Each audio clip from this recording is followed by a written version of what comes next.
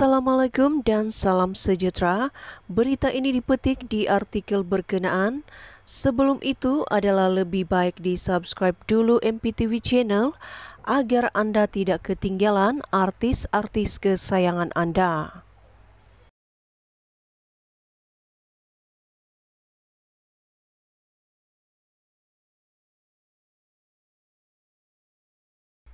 Dipetik dari Keratan Akbar, Siapa tak kenal sebut saja mengenai Raja Gelek Malaysia, pastinya peminat industri hiburan cukup kenal dengan individu ini, populer dengan lagu Cik Mi Molek dan Gila Judi.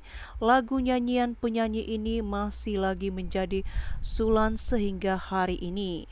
Terbaru pemegang bintang radio di Singapura 1968 ini menjadi buah mulut ramai selepas didakwa sudah meninggal dunia.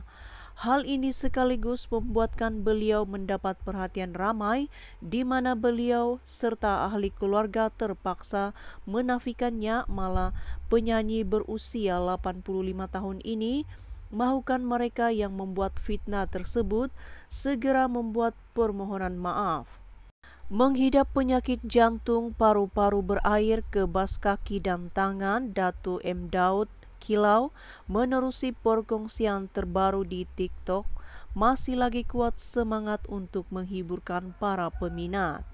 Meskipun keadaannya yang berkerusi roda serta suaranya tidak lagi seperti dulu, Datu M. Daud Kilau dilihat masih lagi mampu menyanyikan lagu hits beliau yaitu Cik Mi Molik. Difahamkan beliau kini banyak berehat di rumah di Bagan Datu Perak. Rumahnya merangkap gelaran buah penyanyi itu turut menyimpan pelbagai seragam baju labu cit yang kerap kali digunakan beliau sewaktu bernyanyi di atas pentas. Perkongsian yang dibuat penggunaan media sosial ini sekaligus telah berjaya mengobat rindu para netizen kepada penyanyi veteran ini di mana rata-ratanya mendoakan agar Datu M. Daud Kilau mendapat kembali sehat serta dipermudahkan segala urusan hariannya.